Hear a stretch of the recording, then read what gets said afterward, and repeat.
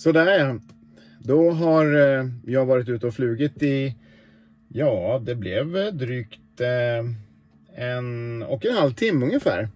Och jag har övat många olika saker. Jag har bland annat övat stall och vikning. Jag har övat branta svängar, lågfart, lite navigationsövning och annat. Och det är sånt man behöver göra för att försöka hålla sig i trim som pilot. Det var ett tag sedan jag flög men det kändes riktigt bra och eh, vädret var ju helt fantastiskt.